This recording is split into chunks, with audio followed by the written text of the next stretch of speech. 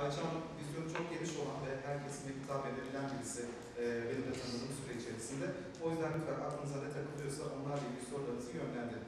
servis ücretinin çok pahalı olacağı da söylenerek e, meslek sesine de yollandım.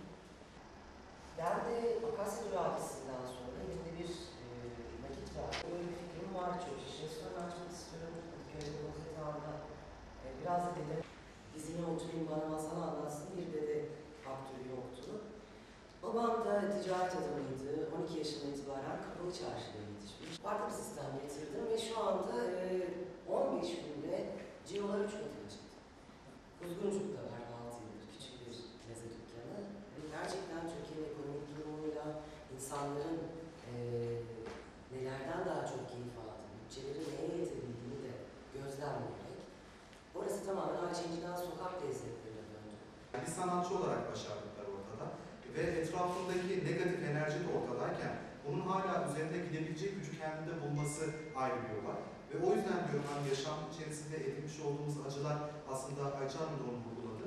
Ee, bizler için besleyici öğeler. Kariyer gelişimi dersinde de biz sadece öğrencilerimize teoriyi uygulamayla birlikte bütünleştirerek ve- versek dahi yani bir takım vakalardan bahsetsek dahi bunları sektörde bir başarıyı yakalamış, e, kendine bir yer edinebilmiş profesyonellerden dinlemeleri daha farklı oluyor. Geçtiğimiz haftalarda insan kaynakları alanından bir takım profesyonelleri ağırladık. E, Gelecek dönemlerde sağlık sektöründen, e, pazarlamacılık gibi, tedarik zinciri gibi bu alanlarda yöneticilik yapmış ve yapmakta olan bireyleri ağırlamaya devam ediyor olacağız derslerimiz kapsamında. Ama en ilginç haftalardan bir tanesi bu. Ayça Hanım'ı ağırlıyoruz Ayça Ayça İnci bir sanatçı olmasının yanı sıra e, bir aile işletmeleri var ve onu da devam ettiriyorlar.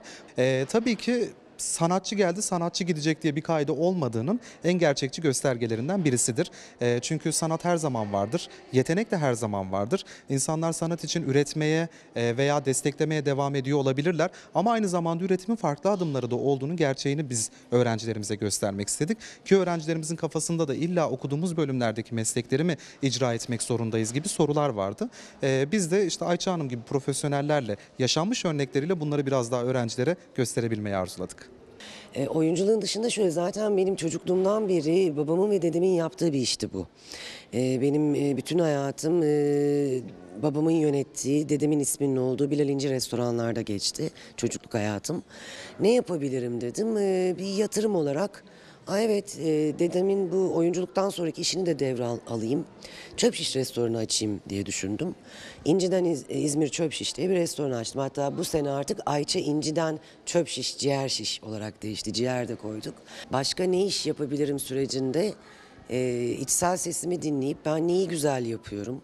Evet güzel ev dekore edebiliyorum, güzel yemek yapabiliyorum. E, bu tarafa doğru evrildi. Korkmadan olmuyor, risk almadan da olmuyor. E, hep kontrolün ve merkezin aslında bizde olması gerekiyor. Tabii ki destek alacağız, akıl alacağız.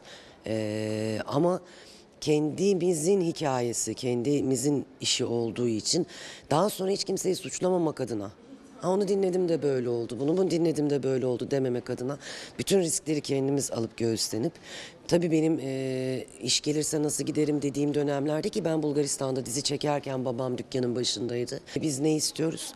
Gerçekten zorunluluktan mı yapıyoruz yoksa sevdiğimiz, aşık olduğumuz işi mi yapıyoruz? Çünkü aşkla yapılan iş asla sıkıcı olmaz. Ne kadar e, yükseğe uçacağım düşüncesindense paraşüt açılacak mı? part-time satış. Ee, bu dönemde Gaye Sokun Ajansı, Hep böyle olumsuz olan bazen insanlardan onlar hepsi bizim için kapattım. Ee, e, bir ay öncesine